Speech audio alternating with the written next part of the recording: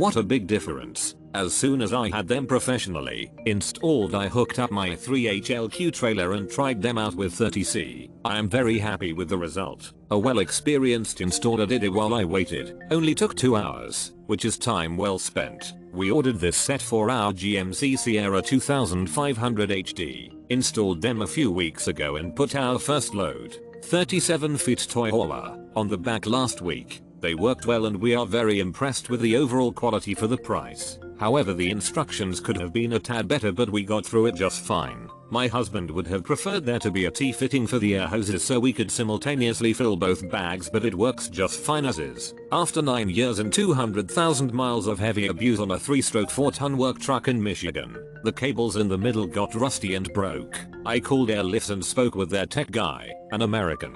I told him what happened and he said no problem he would send out a new set. They were on my porch when I got home the next day, with all of the necessary hardware and air fittings. These are a must for anyone who pulls a trailer or loads the bed heavily. Uh, TM. They had over 5,000 pounds in the bed and regularly haul 13,000 lbs. Your truck sagging? Buy some ass bags. Fixed my Duramax right up. I bought it as an open box and saved $30. This is the third set I have installed on Chevy 2500 HDs. The fit and finish is perfect and install is a breeze if you have normal hand tools. Have one set going on 10 years old and still air up to 100C to reduce squat on trailers. They're super easy to fit onto lifted trucks. Simply get square stock or tube in the same height of your total rear lift and bolt it between with some grade 8 hardware as in picture.